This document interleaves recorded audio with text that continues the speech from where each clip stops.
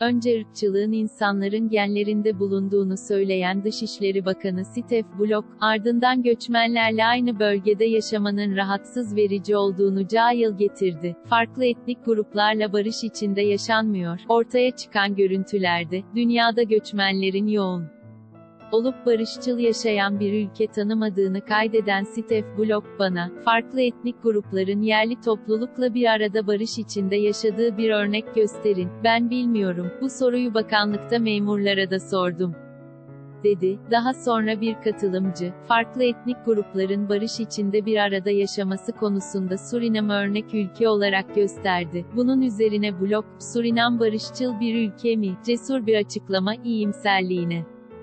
Hayran kaldım fakat Surinam başarısız bir ülke, bunun sebebi de ülkedeki ciddi şekildeki etnik bölünmedir, ifadelerini kullandı. Göçmenlerle yaşamak rahatsız edici, Stef Blok, ırkçılığın insanların genlerinde olduğunu ve çok sayıda göçmenin ülkeye gelmesinin yerli toplumun sınırlarını zorladığını öne sürdü. Bu bölgelerde yaşayan yerli insanları anlayabildiğini ifade eden blok, Ben Ordenaut'ta, Hollandalıların çoğunlukta oturduğu yer, yaşayıp bir pazar günü Türk fırınından ekmek almak çok güzel ve etraftaki yaşananlardan da rahatsız olmuyorsun fakat orada yaşıyorsan aşırı derecede rahatsız oluyorsun. Değerlendirmesinde bulundu. Avrupa'da her ülkenin aynı sayıda mülteciyi kabul etme konusunda ortak bir noktada anlaşma sağlayabileceğini düşünmediğini belirten blok, Doğu Avrupalılar bunu hiçbir zaman kabul etmezler. Bunu fazla da zorlamamak lazım. Varsayalım kabul ettiler. Varşova ve Prag'da sokaklara bakın. Orada göçmen bulamazsınız. Onlar bir